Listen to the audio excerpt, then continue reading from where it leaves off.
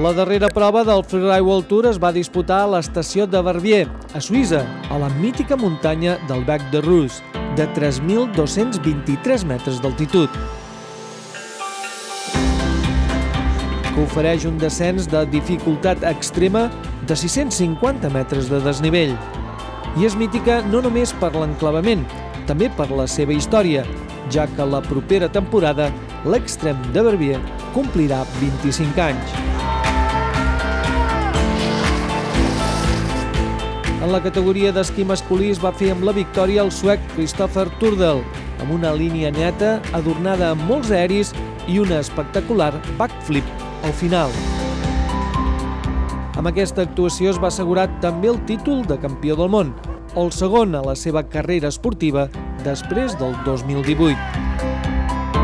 Cal destacar la gran actuació de l'aranès Aymar Navarro, que es va fer amb la tercera posició. Un resultat molt important tenint en compte que aquesta és una de les proves de major nivell del planeta.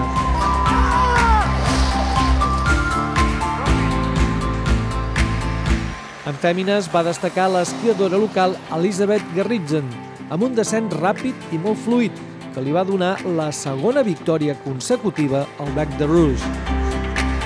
També es va fer amb el títol de campiona del món, superant per només 20 punts la noruega Hedwig Wessel. El descens que va escollir Victor de la Rue va ser espectacular, gairebé una línia recta des del cim fins a baix, saltant tot de precipicis de gran dificultat. L'esnowboarder francès ha guanyat les dues darreres proves i també s'ha fet amb la victòria a la general.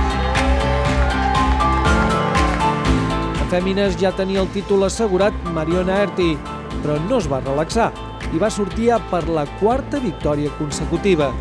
Es va sobreposar una petita errada al primer tram per regalar un descens dels seus, molt fluid per una línia de gran dificultat.